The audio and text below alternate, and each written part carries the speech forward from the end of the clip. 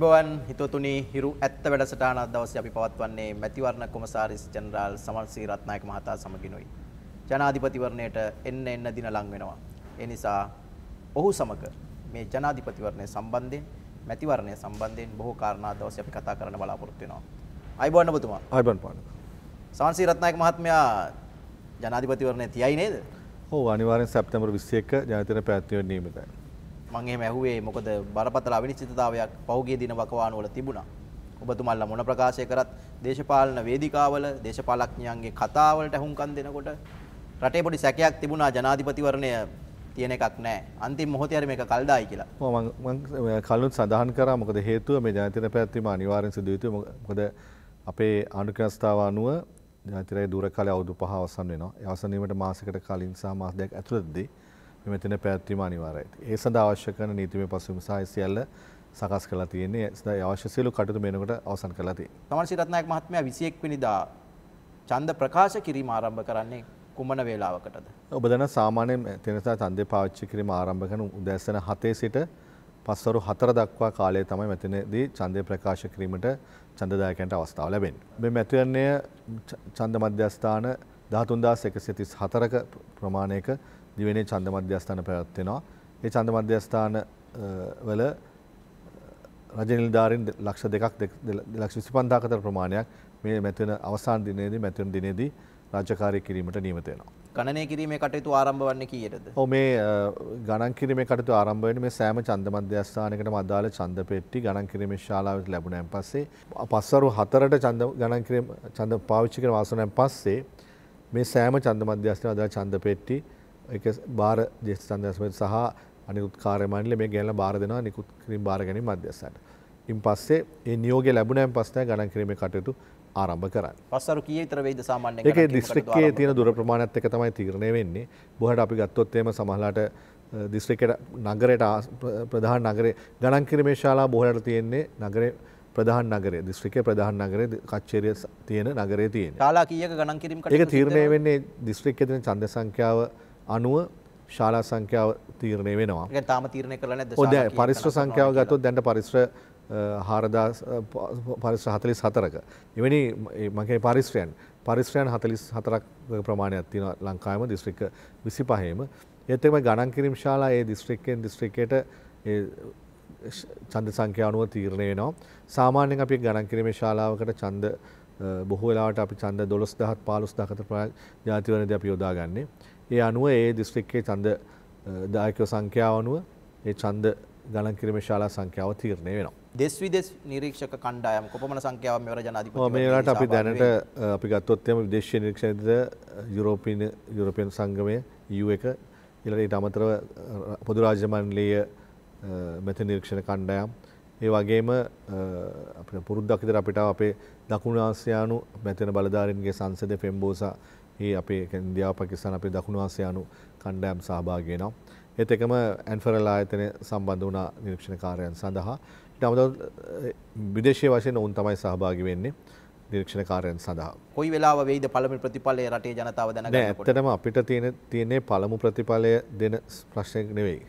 අපිට දැන් නිවැරදිව ප්‍රතිඵලය ලබා දෙන්න ඕන කියන එක අපේ ඉල්ලීම අපේ සියලුම ගණන් කිරීමේ කාර්ය මණ්ඩලයෙන් අපි ඉල්ලන්නේ මේක මේ ගණන් කිරීමේ ශාලා ශාලා අතරවක්වත් ගණන් කිරීමේ දිස්ත්‍රික්ක දිස්ත්‍රික් අතරවත් තියෙන්න ඕන තරගයක් නෙවෙයි. මේකේ තරග ජාතිවරණයේ තියෙන ඡන්දදායකව ඡන්ද පරිණත තරගයේ තියෙනවා. පිළිබඳ ඔබතුමාට මට වඩා අත්දැකීම් ඇති නේ. ඔන්න ඒක බලාගෙන ඉන්න ඔය ප්‍රතිඵලය. පළමු ප්‍රතිඵලය ඉතා වැදගත්. ඒ ඒ සාමාන්‍යයෙන් ගත්තොත් මං කියක ගණන් කිරීම ශාලාවක ගණන් කිරීම සම්පූර්ණයෙන් ආරම්භ වීමට ඒ ගණන් කිරීමේ ශාලාවට ඡන්ද පෙට්ටි ලැබෙන දුර ප්‍රමාණයත් බලපානවානේ. මාර්ග පහසුම ඒ සියල්ලනේ. ඒවත් එක්ක බැලුවෙන් පස්සේ බොහෝ වෙලාවට නගරයට ආසන්න ගණන් කිරීම ඡන්ද මධ්‍යස්ථාන ඇතුළත් ගණන් කිරීමේ ශාලාවක ප්‍රතිඵල ඉක්මනට එන්න පුළුවන් දිස්ත්‍රික් මට්ටමින් ගත්තොත්. ඒ වගේම අපි දිස්ත්‍රික් විතර ගත්තොත් බොහෝ වෙලාවට අපිට දකින්න පුළුවන් ඒ දිස්ත්‍රික්වල ඒක සංවිධානය කරන ආකාරය අනුව දාන ඡන්ද සංඛ්‍යාව, නිලධාරී සංඛ්‍යාව, ඒ ඔක්කොම ඒ සංඛ්‍යා අනුව අපිට ඒක තීරණය. ඒක ඇත්තටම අපිට අවශ්‍ය වෙන එකම දේ තමයි නිවැරදි ප්‍රතිඵලය කියන එක තමයි අපිට අවශ්‍ය. දල වශයෙන් ප්‍රතිඵල දෙනකොට කීය වෙයිද? සාමාන්‍යයෙන් අපිට රාත්‍රිය පහුවෙයිද මැතිවෙන ස්වභාවය අනුව මේක ජාතිවරණයක් සම්බන්ධයෙන් අපි දන්නවා. අපි ඉස්සෙල්ලාම කරන්නේ මේ ඉන්න අපේක්ෂක සංඛ්‍යාවට මේ ගණන් කිරීම කරන්න කිරීමන කරන්නේ. අනිත් පාර්ලිමේන්තු මෙතන වගේ සහ පළාත් පාර්ලිමේන්තු පළාත් පාර්ලිමේන්තු එතරම් ගණන් කිරීම කරනවා. සහ පළත් සභාව ගත්තොත් එවැනි එච්ච ලොකු අපහස්ථාවයක් නෑ මේක. අපි විශ්වාස කරන මධ්‍යම රාත්‍රයට කලින් ප්‍රතිඵල නිකුත් කරන්න පුළුවන් කියන එක. ප්‍රතිඵල නිකුත් කිරීම අවසන් කරලා නව ජනාධිපතිවරයා රට හමුවේ ප්‍රකාශයට පත් කරන්නකොට විසි දෙවෙනිදා වෙලාව කීය විතර වේද. බහට මධ්‍යහන වෙනකොට ඒ කාරණාව කරන්න. මොකද හේතුව මේ දිස්ත්‍රික් මට්ටමේ මේ ප්‍රතිඵලය සකස් කළා ප්‍රධාන කාර්යාලයට මේ ප්‍රතිඵල ලැබෙන්න ඕනේ. සාමාන්‍යයෙන් ප්‍රතිඵල නිකුත් කිරීම දිස්ත්‍රික්ක කාර්යාල වලින් ඒ ගණන් කිරීම මධ්‍යස්ථාන වලින් ප්‍රධාන කාර්යාලයට ලබා දීලාද ඔබතුමාලා රටට දැනුම් දෙන්නේ? ඔව්. මොකද ගණන් කිරීමේ ශාලාවේදී සෑම ගණන් කිරීමේ ශාලාවකම ප්‍රතිඵලය පිටපත් පහක් හයකින් අපි අරගන්නවා. එකේ තියෙන ඔරිජිනල් පළමු පිටපත ඔරිජිනල් එක ගත්තොත් එමේ ඒක අපේ ප්‍රතිඵල ලේඛනත් එක්ක ගණක ශාලාවේ තියෙන ඒ ලේඛනය ගෙනත් දෙනවා ශ්‍රික් ලේකම් කාර්යාලය ප්‍රතිඵල වග්ගත කිරීමේ මධ්‍යස්ථානට. දෙවනි සහ තුන්වෙනි පිටපත් මේ එම ගණන් කිරීමේ ශාලාවේ වැඩිම ඡන්දගත දේශපාලන පක්ෂය හෝ අපේක්ෂකයාගේ නියෝජිතයට ලබා දෙනවා. ඊළඟට තව පිටපතක් අපි ප්‍රදර්ශනය කරනවා එම ශාලාවේ ඇතුලේ. අනිත් ඔක්කොටම බලා ගන්න පුළුවන් ඒ ශාලාව ඇතුලේ එක ප්‍රදර්ශනය කරනවා. තව පිටපතක් අපි ප්‍රධාන ගණන් දීමේ නිලධාරියගේ එයාගේ ජර්නල් එකේ ඒක ඇතුළත් කරන්න ඕනේ. එතන මේ ජෙත අපේ පිටපත් පහ අපි ගන්න. එතකොට ගණන් කිරීමේ ශාලාවක එම ගණන් කිරීමේ ශාලාවේ ප්‍රතිඵලය මොකක්ද කියන එක එම ගණන් කිරීමේ ශාලාවේ ඉන්න සියලුම දෙනා දන්නවා මොකද එකක් ප්‍රදර්ශනය කරලා තියෙන එක තුල. ඒක අපි අලෝනවා ඒක ඕනෙකට බලා ගන්න පුළුවන්. අපි මම උදාහරණයක් කොත්මලේ කියන ආසයට අදාළව තියෙනවා නම් ගණන් කිරීමේ ශාලා 6ක්. මේ ගණන් කිරීමේ ශාලා 6ම ප්‍රතිඵලාවෙන් පස්ස තමයි සමස්ත කොත්මලේ කියන ඡන්ද ප්‍රදේශයේ ඡන්ද ප්‍රතිඵලය සකස් වෙන්නේ.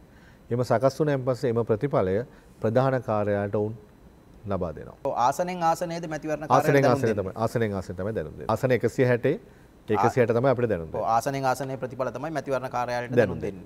ඒ ආසනෙන් දැන් දිස්ත්‍රික්කයේ ගත්තත් දිස්ත්‍රික්කයේ තියෙනවා නම් ආසන හතරක්. ඒ ආසන හතරේම ප්‍රතිඵලාවෙන් පස්සේ තමයි දිස්ත්‍රික්ක ප්‍රතිඵල දිස්ත්‍රික්කයේ ප්‍රතිඵල එන්නේ. හැබැයි ඔබතුමල්ලා මැතිවරණ ගණන් කිරීමේ තැන්වල ඒ කියන්නේ මධ්‍යස්ථාන ශාලාවල පිටපත් පහක් ලබා ගන්නවනේ ප්‍රතිඵලය. ඔව්. ඒ පිටපත් පහෙන් පිටපත් දෙකක් අ, දේශපාලන පක්ෂ නියෝජිතයන්ටත් ලබා දෙනවා. එතකොට ඔවුන්ගෙන් ඒ ප්‍රතිඵලය මේ සමාජ මාධ්‍ය ජාලා හරහා ඉතින්. දැනුම් දෙන්න පුළුවන්. ඒක ඒක ඔවුන්ගේ කාර්යයක්. අපි දෙන්නේ ඔවුන්ට මේක සමාජ මාධ්‍ය හරහා හරි කොහේ හරි ප්‍රචාරය කරන්න නෙවෙයි. ඔවුන්ගේ ඒ කාර්ය ගණනය කිරීම කාර්යයන් සඳහා. ඉතින් ඒක භාවිතා කිරීම සම්බන්ධයෙන් අපිට එකම දේ ඒ මත පදනම් වෙලා කටයුතු කිරීම සම්බන්ධයෙන් ජනමාධ්‍ය සහ අනිකුත් ඒවා පරිස්සම් වෙන්න ඕනේ. ඒ ප්‍රතිඵල මත විවිධාකාර වූ අ, නිගමනයන් සහ විග- විවිධාකාර වූ ප්‍රචාරකයන් වලට යන ඒ සම්බන්ධයෙන් පරිස්සම් වෙන්න ඕනේ. මොකද නිල නිවේදනය පැහැදිලිව නිකුත් කරන්නේ මෙතන කමිටු සභාව තමයි. කොමසාර ජෙනරාල්තුමා මැතිවරණය පිළිබඳ බොහෝ දෙනා ඉතාම උනන්දුයි. විශේෂයෙන්ම මේ ජනාධිපතිවරණය පිළිබඳ මීට පෙර තිබුණු ජනාධිපතිවරණය සසඳන බලනකොට මේ තරම් උනන්දුවක් තියෙන මැතිවරණයක් අපිට ඉතිහාසයේ මතක් වෙන්නේ නැහැ.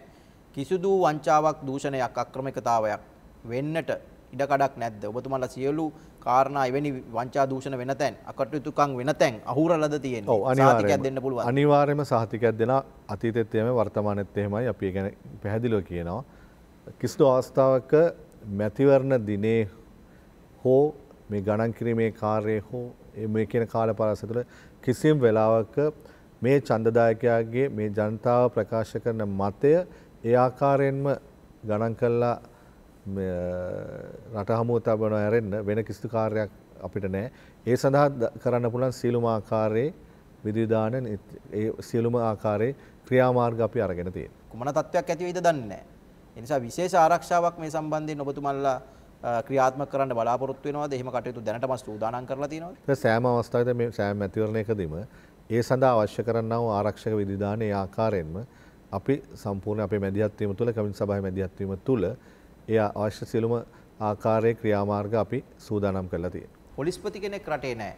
ඒ බාධාවක් වෙයිද ඔබතුමාලට මැතිවරණය සම්බන්ධයෙන් ආරක්ෂාව තහවුරු කරගන්න? මෙතෙක් කිසිදු ගැටලුවක් කරන්නේ නැහැ. බොහෝ වෙලාවට අපි මම කලිනුත් ප්‍ර- සඳහන් කරා මේ සම්බන්ධයෙන් පැහැදිලිව මේ පොලිස්පති ධූරයේ ද- සම්බන්ධයෙන් ආව ගැටලුවේදී අපි ඒ සම්බන්ධයෙන් නීතිපති උපදෙස් සහ අදාළ ආයතනත් එක්ක සාකච්ඡා කරලා බලලා ඒ අවශ්‍ය කටයුතු සියල්ල සම්පාදනය කරලා තියෙනවා. වෙනකොට ඒ කාර්යභාරය ඔහු වෙනුවෙන් ගණන්- ප්‍රධාන ගාන්ධි නිලධාරියවල විදිහට මහජනාරක්ෂා අමාත්‍යාංශයේ ලේකම්වරයා වගේ කියන ඒ කාර්යන සම්බන්ධ ඒ වගේම ඔහු ඉන්න කාලෙත් අපි ජේෂ්ඨ නියෝජ්‍ය පොලිස්පති අ, මැතිවරණ සමග කර සාකච්ඡා කරලා මේ වැඩ පිල්ල සකස් කරලා තියෙන ඉද අපේ ඒ ක්‍රියාමාර්ග ඉදිරියට වර්තමානය විෂම ජේෂණ යුජ පොලිස්පති පරිපාලන ලලිත් පතිනායක මහත්මය සමගත් ජේෂණ යුජ පොලිස්පති අසංඝකරට මහත්මයා සමගත් මැතිවරණය සම්බන්ධයෙන් අදාළ ඒ කටයුතු සියල්ල අපි ඒ ක්‍රියාමාර්ග අතීතය මෙන්ම ඊටත් වඩා හොඳින් මේ පාර අපි සංවිධානය කරමින් පවතින. සමන්සි රත්නායක මහත්මයා මේනකොට ඡන්ද පත්‍රිකා මුද්‍රණය කිරීම ආරම්භ කරලාද තියෙන්නේ? ඔව් ඡන්ද පත්‍රිකා මුද්‍රණය කිරීම ආරම්භ කරලා තියෙන. ඒ වගේම අපි තැපැල් සඳහා දාල මුද්‍රණ කටයුතු මෙතන අවසන් කරමින් පවතිනවා. ඒතර මේ වෙනකොට අපි සියලුම දිස්ත්‍රික් වලට අදාළ මේ කටයුතු දැන් ආරම්භ කරලා තියෙන. ඒ සඳහා අවශ්‍ය කරන මූලික කටයුතු සහ ඒ වැඩසටහන දිගින් දිගටම අපිත් පෞද්ගලිකව ගිහිල්ලා ඒක පරීක්ෂා කරලා බලලා අපේ කාර්ය මණ්ඩලයත් ඒ කටයුතු නිසි ආකාරයෙන් කරමින් පවතිනවා. තැපැල් ඡන්දය පැවැත්වෙන්නේ කවද්ද? තැපැල් ඡන්දය සඳහා තැපැල් නිකුත් කිරීම කරනවා අපි 26 වෙනිදා. අගෝස්තු මාසේ 26 වෙනිදා තැපැල් ඡන්ද නිකුත් කිරීම කරනවා දිස්ත්‍රික්කයේ දිස්ත්‍රික් ලේකම් කාර්යාල සහ දිස්ත්‍රික්කයේ සමහර ඡන්ද සංඛ්‍යා අනුව පදනම් කරගෙන යම් යම් ස්ථාන අපි තෝරගෙන තියෙනවා. ඒතර ඒ තැන්වලදී තැපැල් ඡන්ද නිකුත් කිරීම කරනවා අගෝස්තු මාසේ 26 වෙනිදා. තැපැල් ඡන්ද සලකුණු කිරීම කරනවා විශේෂයෙන් මැතිවන දෙපාර්තමේන්තුවට සම්බන්ධ නිලධාරීන් ඒ වගේම දිස්ත්‍රික් ලේකම් කාර්යාල සම්බන්ධ නිලධාරීන් සහ පොලිස් දෙපාර්තමේන්තුවේ නිලධාරීන් සැප්තැම්බර් මාසේ 4 වෙනිදා ඔවුන්ට දිනය දීලා තියෙනවා තමන්ගේ සේවාස්ථානයේ ඡන්දය සලකුණු කිරීම සඳහා.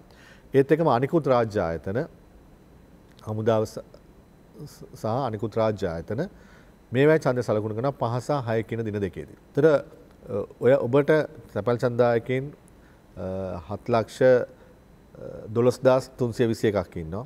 මේ 7 ලක්ෂ 12321 ඡන්දදායකයෝ දිවයිනේ තමන්ගේ රාජකාරී කරපු ස්ථානයේ තමන්ගේ සහතිකර මිලධාරීලා ඉදිරියේදී මේ ඡන්ද සලකුණු කිරීම කරනවා 4 5 සහ 6 කියන දිනවල.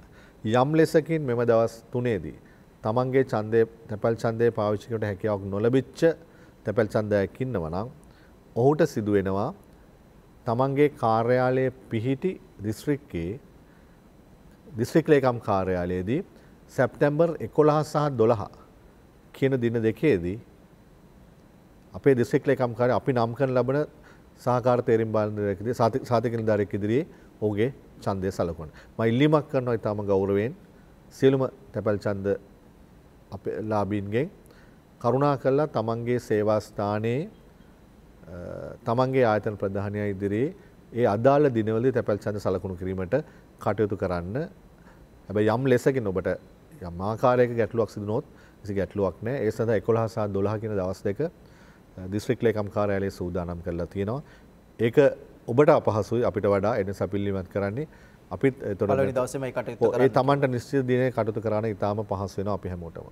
ජනාධිපති අපේක්ෂක සංඛ්‍යාව සංඛ්‍යාත්මකව වැඩිවීම නිසා ඔබතුමා මීට පෙරත් ප්‍රකාශයක් කරලා තිබුණා වියදම වැඩි වෙනවා කියලා.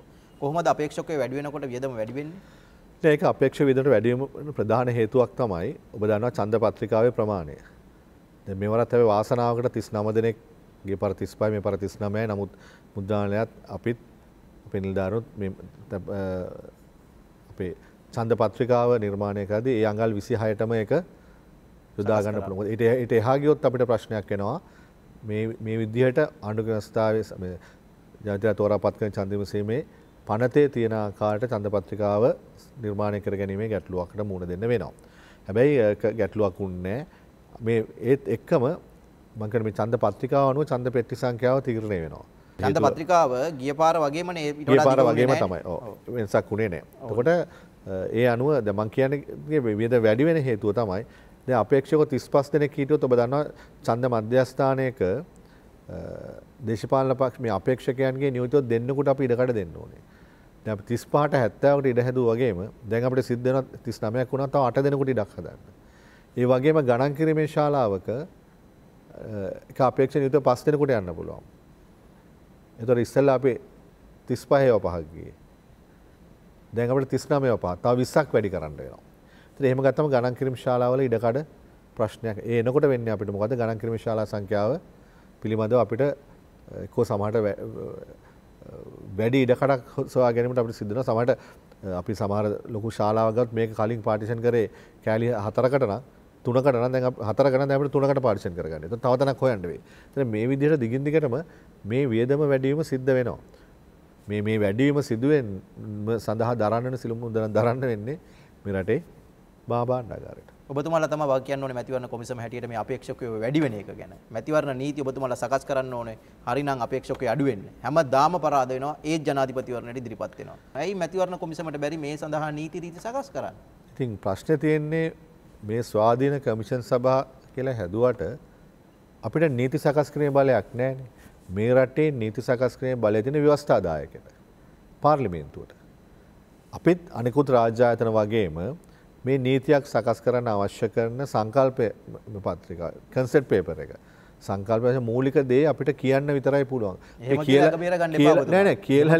විතරයි. පුළුවන්. ඔබතුමාලා මොකද්ද ගත්ත උත්සාහය අඩුම තරමේ මේ ඔබතුමාලා- අපමුදල්වත් වැඩි කරන්න. ඉතින් අප මුදල් වැඩි කෙනක සම්බන්ධයෙන් ගත්තොත් පාර්ලිමේන්තුවටත් ගිහිලා කැබිනට් එකත් ගිහිලා කැබිනට් එක අනුමත නොවීමනේ. කැබි අපි අපි නෑනේ කැබිනට් එකේ සහ අපි නෑනේ පාර්ලිමේන්තුවේ. ඒතර ඒ කටයුතු කරන්න මේ රටේ ඒ මේ රටේ මහජනතාවගේ ඡන්- ඡන්දෙන් පත්වෙච්ච මහජන නියෝජිතයෝ තමයි ඒ කාරණාව කරන්න ඕනේ. මහජන නියෝජිතයා කරන කාර- කාර්යභාරය මේ නීතියක් ක්‍රියාත්මක කරන විධායකයෙකු විදිහට අපිට කරන්න හැකියාවක් නැහැ. එතකොට ඒ නිසා පැහැදිලි එතන කොතනද තියෙන ප්‍රශ්නේ එහෙමයි. කියලා අපි හැමදාම බලාගෙන ඉන්න ඕනේ. දැන් ලබන ඊළඟ ජනාධිපතිවරණේ අපේක්ෂකයෝ 50ක් වුණත් ඔබතුමන්ලා මේ කොලේ දික් කරගෙන මාධ්‍යයට ඇවිල්ලා කියයි අනේ වියදම් බලන් වැඩි වෙනවා, දෙයක් වියදම් නෑ වැඩි අද වගේම ඔබ උනන්දු වෙනවා වගේම මේ මැතිවරණේ ඉවරණයන් පස්සෙත් මුල් කාලෙත් මේකට උනන්දු වෙන්නකෝ නමුත් මේ ඔක්කොම කතා කරන්නේ මේ අවසාන මොහොතේ අපි- අපි- උනන්දු අපි අපි වෙලා අපි කරන කාර්යභාරය කරලා නැති නමුත් මේක අපිට මහ ජනතාව කරලා නෑනේ. ගිය පාර 35යි මේ පාර 39යි. ඉතින් අප- අපිට නීතිය වෙනස් කරන්න එක අපිට තියෙන ප්‍රශ්නේ අපේක්ෂකව අඩු කරන්න අපිට නීතියක් නැහැ මොකද මේ රටේ ව්‍යවස්ථාව හැටියට Tamanට මේ රටේ පුරවැසියෙක් විදිහට ඔහුට මේ ජාතිරයා තෝරාපත් කරගෙන අවශ්‍ය කරන මූලික සුසුකම් සම්පූර්ණ කරනවා නම් ඒ සඳහා ඉදිරිපත් වීමේ හැකියාවක් ඔව්, ඒ තියෙනවා. නිසා තමයි නීති සකස් කරන්න ඉතින් කියන්නේ නීති සකස් කරනවා කියන කාර්යභාරය මෙතන කමිෂන් සභාවට ව්‍ය- පැවරිච්ච කාරණයක් නෙවෙයි. ඒක ව්‍යවස්ථාදායකගේ කාර්යභාරයක්. ඒ ව්‍යවස්ථාදායකගේ කාර්යභාරය නොකිරීම නිසා ඔබ අපිට චෝදනා කිරීම ප්‍රතික්ෂේප කරනවා. ඒකේ තියෙන කතන්දරේ. ඔබ විශ්වාස කරනවද මේ අපේක්ෂක ප්‍රමාණය වැඩි කියන එක? අපේ රටේ ආණ්ඩුක්‍රම ව්‍යවස්ථාව අනුව මම කලින් සඳහන් කරන්නේ කැමැති ලබ්ධයක් ආගමක් විශ්වාසයක් එහෙම දරන්න පුළුවන්. එහෙම මේ මූලික සුදුසුකම් තියෙන කෙනෙක් මේ මෙතනට ඉල්ලන එක සම්බන්ධයෙන් සමන් රත්නායකට පෞද්ගලිකව මේකට එකඟ නැහැ කියලා කියන්න පුළුවන්. හැබැයි කමිෂන් සභාව නියෝජනය කරන පුද්ගලෙක් විදිහට ඒ තියෙන අයිතිවාසිකම් තියෙන පාර්ශවයන් සැබෑ මතයක් වෙනුවෙන් ඉදිරිපත් වෙනවා නම් ඒ සඳහා අපිට ඒක වැරදි කියන කතන්දරේ කියන්න බෑ. මේ 39 දෙනාම ඉදිරිපත් වෙන සැබෑ අරමුණක් වෙනුවෙන්ද? ඒක ඉතින් අපේක්ෂකයන් තමයි කිය- ඉදි- ඉදි- ඔවුන්ගේ අරමුණ පැහැදිලි කරන්න ඕනේ. ඉදි- ඉ- පැහැදිලි කිරීම මත මේ රටේ ඡන්දදායකව තමයි තීරණය කරන්න ඕනේ. ඒක මේ මේකේ මැද ඉන්න අපිට මේ පැත්තෙන් ඡන්දදායකයන් අනිත් පැත්තෙන් අපේක්ෂ මේ අපේක්ෂකයන් සහ පත්වෙන පුද්ගලයෝ ඉන්නවා. අපි මේ ක්‍රියාන්ත්‍රණය මේ ක්‍රියාවලිය මෙහෙම කරනවා මිසක් අපිට ඡන්දදායකයා හිතන විදිහක්වත් අපේක්ෂකයා හිතන විදිහක්වත් සම්බන්ධයෙන් සහතික දීමේ හැකියාවක් නැහැ. ඊළඟ ජනාධිපතිවරණයේදීවත් මේ අපේක්ෂක ලැයිස්තුව අඩු කරගන්න ඔවුන් අධෛර්යමත් කරන්න අප මුදල් ප්‍රමාණය වැඩි කිරීමක් හෝ එහෙම නැත්නම් නව නීතියක් හරි ගෙනලා ජනාධිපති ධූරයේ ඉන්න පුළුවන් උත් දෙපාරයි. හැබැයි ඉල්ලන්න පුළුවන් පරදින අයට ඕන තරම්. කී පාරක් පරදි පෙරදුණු අය මේ පාර ඉල්ලනවාද? ඒ නිසා ඔබට සහතිකයක් දෙන්න පුළුවන්ද? ඊළඟ පාර ජනාධිපතිවරණයේදීවත් අපි මේක සකස් කරගන්නවා කියලා. මට ඔබට සහතිකයක් දෙන්න පුළුවන් ඊළඟ පාර්ලිමේන්තු මෙතන මාව පාර්ලිමේන්තුවට යවනවා නම් ඒ අරෙන්න මේක ව්‍යවස්ථාදායකේ කාරණාවක්නේ නීතිය සකස් වෙන්න ඕනේ එතන ඉතින් මට ඒ ගැන 100%ක් එහෙමනම් අපි දැන්ටත් දරපු උත්සාහයන් අපි දිගට මේක මේ අපි උත්සාහ නොදරපු පිරිසක් නෙවෙයිනේ උත්සාහයෙන් දරලා කාලයක්. තිස්සේ අපි දිගින් දිගට මේ නීති සංශෝධනයන් සම්බන්ධයෙන් තිබිච්ච සෑම තේරීම්කාරක සභාවට ම- අපි කලින් හිටපු සියලුම කොමසාරිස්වරු කමිෂන් සභා සභාපතිවරු මේ සියල්ලම මේ කාරණා සම්බන්ධයෙන් අවශ්‍ය කරන සියලුම දේවල් දීලා තියෙනවා. ඒ අවශ්‍ය කරන අමුද්‍රව්‍ය දීලා තියෙනවා. නීතිය හැදෙන්න අවශ්‍ය කරන ඒ ටික දීලා තියෙනවා. ඉතින් ඒක එතනින් මෙහාට එන්නේ නැතික සම්බන්ධයෙන් මම කොහොමද සහතිකයක් දෙන්නේ? ඒ සම්බන්ධ. ඒක මගේ සීමාව තුළ දෙන කාරණාවක් නෙවෙයි. දැන් මේ පැපරල් සංවිධානය මොකද මේ අපේක්ෂකයෝ 6 දෙනෙක් ගෙනල්ලා විවාදයක් පවත්වන්න යන්නේ? ඒක ප්‍රජාතන්ත්‍රවාදීද? ඒක ඔබතුමන්ලා මැතිවරණ කොමිසම හැටියට අනුමත කරනවද? නෑ අපිට පැපරල් සංවිධානය කියන වෙනම සංවිධානයක්. ඔවුන් අපිත් එක්ක මේ අපේ කමිෂන් එක කෑල්ලක් නෙවෙයිනේ. ඒක වෙනම සංවිධානයක් වුණාට ඒක මැතිවරණ නිරීක්ෂණ සංවිධානයක්. සංවිධානයක කටයුතු එහෙම නැතු කරන්නේ. නිකම්ම නිකං නෑ, ආයතන නෙමෙයි. ඔවුන්ට නිරීක්ෂණය කිරීමේදී ඔවුන්ගේ ඔවුන්ට වෙනම ඔවුන්ගේ තියෙන නිර්ණායකයන් තුළ ඒක ඕනම කෙනෙකුට ඔය නිරීක්ෂණ කණ්ඩායම් ගොඩක් ඉන්නවනේ එකක් නෙවෙයිනේ. ඒතර මේ මේ එක් එක් ආයතනයේ ඔවුන්ගේ කාර්යභාරය සම්බන්ධයෙන් ඔවුන්ට වගකීමක් තියෙනවා කරන්නේ කොහොමද කියලා. ඔබතුමාලට පැමිණිලි ලැබිලා නැද්ද මේ සම්බන්ධයෙන්? පැමිල්ල පැමිල් ලැබිල අපේ සමඳ කමින් සභාව සාකච්ඡා කළ අවශ්‍ය කටයුතු කරයි. අවශ්‍ය කටයුතු කරයි. ඒක කමිෂණ ගැන කරන්නේ මොකද කරන්න. ඒ මොකද කරන්න තීරණය මම තනියෙන් ගන්න තීරණය නෙවෙයි මේ පානුක. ඒ සඳහා තමයි මේ තනි කොමසාරිසරෙකුට මේක කරන්න බෑ කියලා තමයි මේ කමිෂන් සභාවක් පත් කරලා තියෙන්නේ. ඒ හින්දා ඒ කමිෂන් සභාව ඒ සංකල්පය තුළ ඒ කාරණා ඉෂ්ට වෙයි. මෙවර ජනාධිපතිවරණය තරම් රාජ්‍ය දේපල රාජ්‍ය සම්පත් අවභාවිතාවට ලක්වෙන ජනාධිපතිවරණයක් මීට කලින් තිබුණේ නැහැ කියලා චෝදනා එල්ල වෙනවා. විශේෂයෙන්ම ජනාධිපතිවරයා ප්‍රමුඛ රජයේ පාර්ශවයට. මැතිවරණ කොමිසම මොකද කරන්නේ? මේ සම්බන්ධයෙන් අපි අදාළ නීතිරීති චක්‍රලේක අදාළ නිලධාරීන් අමාත්‍යංශ ලේකම්වරු සියල්ලම ගැනලා උන්ට පැහැදිලිව අපි නිකුත් කරපු ප්‍රමා- චක්‍රලේඛ පිළිබඳ දැනුවත් දීලා කියන උන් සියලුම නිලධාරීන්ට. යම් කිසි ආකාරයක එවැනි කටයුත්තක් සම්බන්ධයෙන් අධිකරණය මේ මැතිවන වැරදි යටතට ගන්න අධිකරණ මේ ක්‍රියාමාර්ගයකට ගිය වෙලාවකට අපිට ඒ සම්බන්ධය කර- ඒ කියන්නේ අපිට නීතිමය කටයුතු කර තමයි කරන් තියෙන්නේ. ඒ ඇරෙන්න අපිට මොකද මේක මැතිවරණ කොමිසම නවත්තන්න බැරිද මේ දේවල්? අපි නවත්තන්න- ඔබතුමන්ලගේ අපි නවත්තලා නැත්තේ ස්වාධීන නවත්තන්න පුළුවන් හැමදේම අපි නවත්තලා. පාවිච්චි කරලා නවත්තන්න අපි නවත්තලා? තියෙන්නේ. අපි න- මේ පුළුවන් තරම් මේවා නවත්තලා. ජනාධිපතිවරයා පත්වීම් දෙනවනේ මේ ඇමති දූර ඒ පත්වීම් වළංගුයිද? ඔබ ඒත් එක්කම බලන්න ජාතිවරයාගේ කාර්යභාරය මෙතන කමින් සභාවට නවත්තන්න පුළුවන් නීතිය කොහෙද තියෙන කියන එක.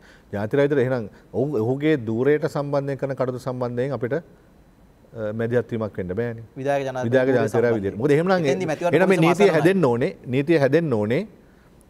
මේ මෙවැනි අවස්ථා ජාතිරය ඉතින් පවත්වන අවස්ථාවකදී? බාරකාර රජයක්වත් එන්න ඕනේ. රටේ මූලික නීතිය තුල තමයි පානුක අපි කටයුතු කරගෙන. එහෙනම් ඔබතුමාලා කොහොමද කියන්නේ ස්වාධීන මැතිවරණයක් පවත්වනවා පවත්වනවා කියන්නේ? ඔව් ඊට අදාළ රටේ ජනාධිපතිවරයා.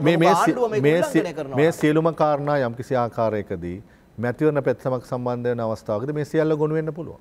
එහෙම ඉතිහාසයේ ගොනු වෙච්ච අවස්ථා තියෙනවද? ඔව් ඉතින් ඉතිහාසයේ මැතිවරණ පෙත්සම් නොතිබෙච්ච තැන් නැහැනේ. මැතිවරණ පෙත්සම් තිබුණා තීන්දුවක් ඉතිහාසයේ. දීලා මැ- ම්, ජනාධිපති දූරවල් අවලංගු කරපු අවස්ථාවල් තියෙනවද? අධිකරණයට යන්නේක සහ ඒ කියන කාරණා සම්බන්ධයෙන් කමිෂන් සභාවට කරන්න පුළුවන් කාරණාවක් නෙමෙයි. මම කල්නුත් කියවනේ මේක අපි මෙතන අපිත් විත්තිකාරයෙක් වෙලා යනවා මිසක් අපිට අපි කරන්නේ විධායකයේ කොටසක කාර්යයක් කරන්නේ. විධායක ජනාධිපති දූරයේ ඉදිරියේ මැතිවරණ කොමිසම අසරණයි නේද? නෑ අපි නෙමෙයි අසරණ වෙන්නේ. මේ හැම දෙයක්ම අපි කරන්නේ මේ රටේ ඇයි අපි මෙතන කමිෂන් සභාව මේ මේ නීති සියල්ල හදලා මේ තුල කරන්න බලාපොරොත්තු වෙන්නේ මොකද්ද? මේ පත්වන සභිකයාගේ ඕනම මැතිවරණයක්. පත්වන සභිකයාගේ ඒ දූරයට පත්වීමේ සුජාතභාවය පිළිබඳ සහතිකය තමයි තියෙන්නේ මෙතන. තිවරණ වියදන් නියාමන කිරීමේ පනතට අනුව ඔබතුමල්ලා මේ වන විට ඊට අදාළ ගැසට් නිවේදන නිකුත් කරලා තියෙනවා. කොමසාරිස් ජෙනරාල්තුමනි ඔබතුමල්ලා මැතිවරණ වියදන් නියාමනය කරනකොට අපේක්ෂකයෝ වියදම් කරන්න පුළුවන් තරම් වියදම් කරලා ඉවරයි දැන්. ඉතින් පානුක මේ මම නැවතත් කියන්නේ අපිට අපේක්ෂ ඔය 2023 අංක 3 දරන මැතිනිදා නියාමනය කිරීමේ පනතම තමයි සඳහන් වෙන්නේ මේ අප- මේ මිල තීරණය කරන්න තියෙන්නේ නාම යෝජනා බාර දීමෙන් පස්සේ අපේක්ෂකයන් විමසා තමයි කටයුතු කරන්න තියෙන්නේ. දින පහක් ඇතුළත ගැසට් ගන්න තියෙන්නේ. එතකොට මේ පනතෙම සඳහන් වෙන විදිහට අපේක්ෂකයෙක් බවට පත්වෙන නාම යෝජනා දුන්නම හරි. එතකොට අපිට එහෙමනම් අපේක්ෂක බවට පත් වෙන්න ඉස්සෙල්ලා ඔවුන්ගේ කාර්යයන් සම්බන්ධයෙන් අපි කොහොමද දන්නේ ඔවුන් අපේ නීතිය කොහෙද තියෙන ඔවුන් අපේක්ෂක කියලා. අපේක්ෂකයෙකුට කෝටි 186ක් මේ මැතිවරණ වෙනුවෙන් වියදම් කරන්න පුළුවන් කියලා ඔබතුමල්ලා ගැසට් කරනවා. කෝටි 186ක්.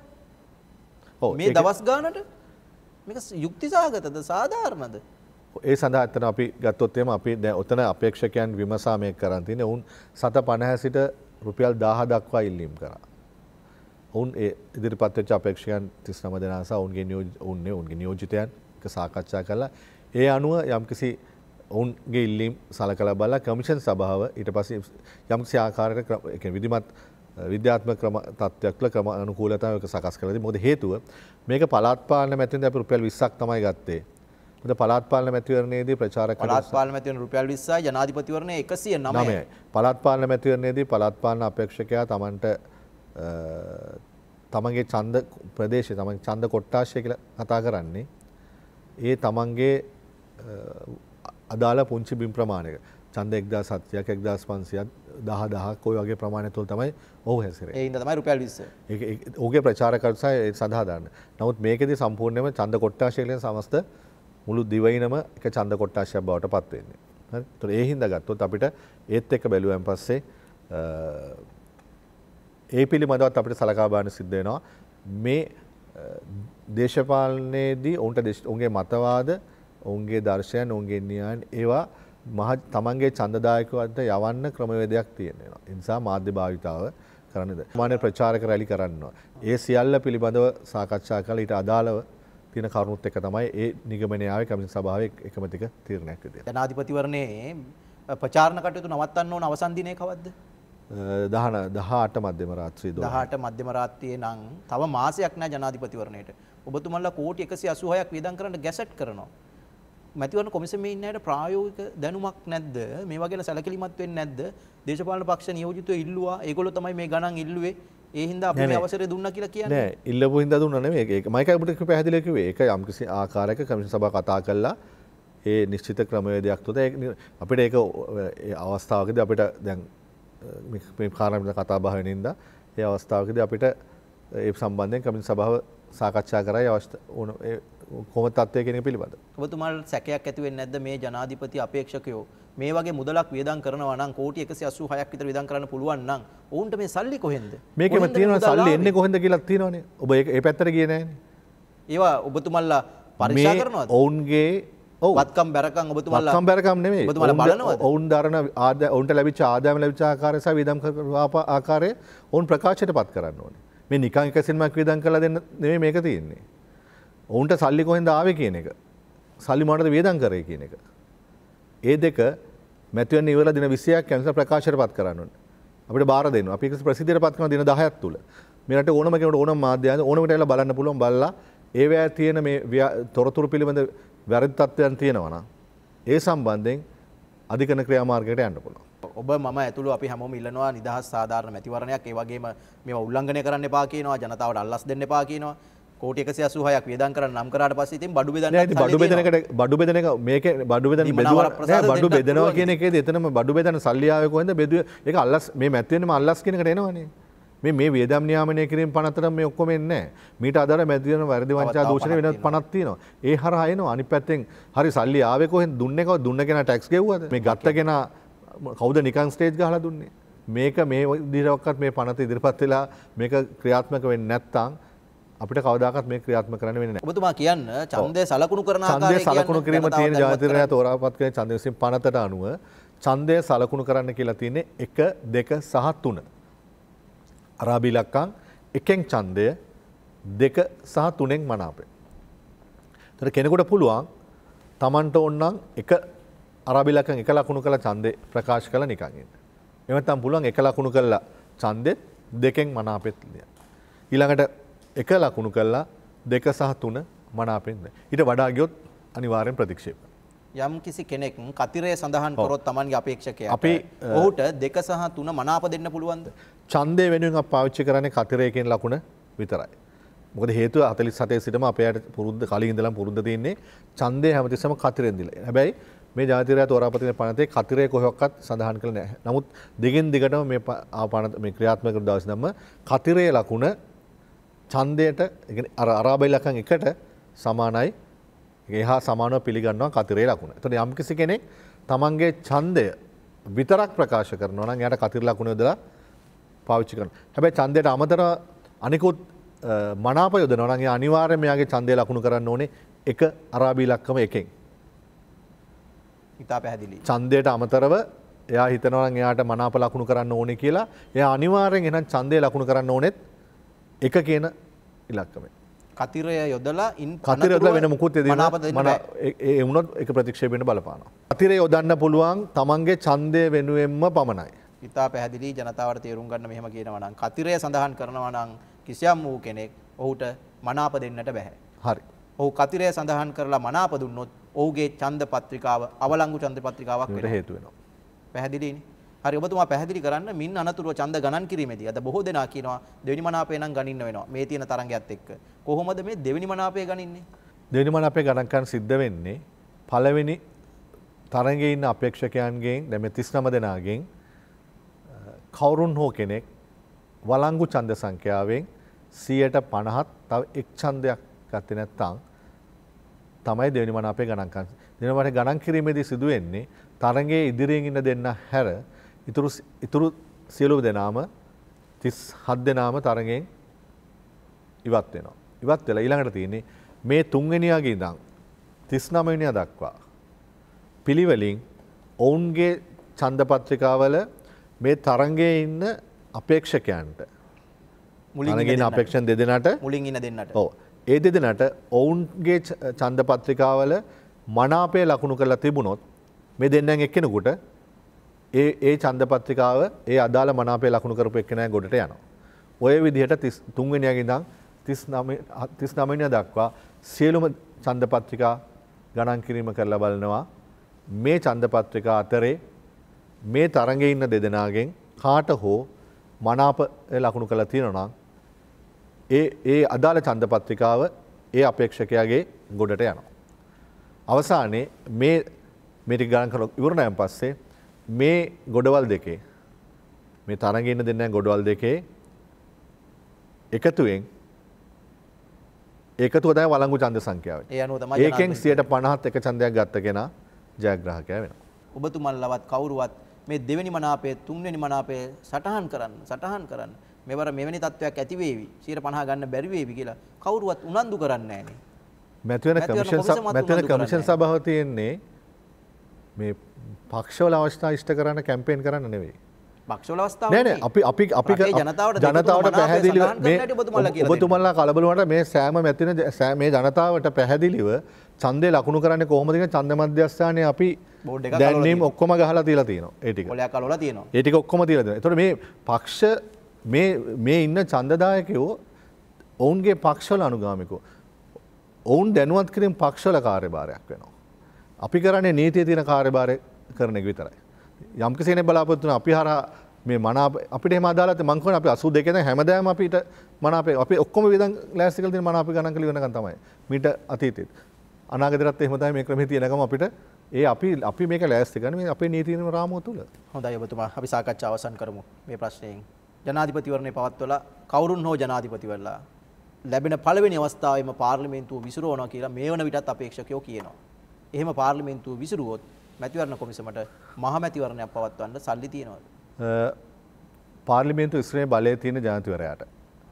තර මේ පත්වන ජාතිරය පාර්ලිමේන්තු විසරවානං විසරපු ගමන් ආණ්ඩුකස්ථා එකසිය පණහා හතර ව්‍යවස්ථාව අනුව ඒ ජාතිවරයා මේ මැත්- පාර්ලිමේන්තු මැතින සඳහා පැත්වහද අවශ්‍ය කරන්න වූ අරමුදල් රජ්‍ය එකබද්ධ අරමුණෙන් ලබාදීමට නීතියෙන් බැඳිලා ඉන්න ආණ්ඩුකස්ථායම.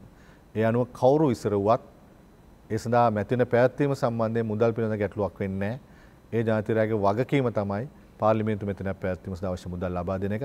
අපේ වගකීම තමයි විසුරුපු දවසේ සිට දින 66ක් ඇතුළතදී පාර්ලිමේන්තු මෙතන පැත්වීම. මැතිවරණ කොමිසමට පුළුවන්ද?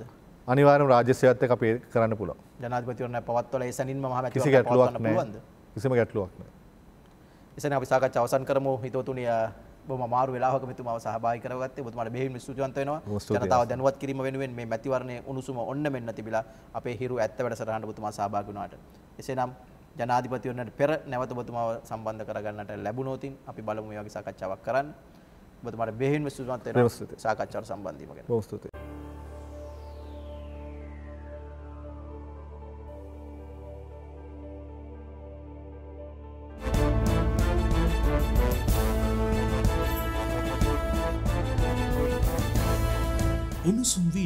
එසැනින් බලාගන්න හිරු නිවස් YouTube චැනලය සබස්ක්‍රයිබ් කරන්න.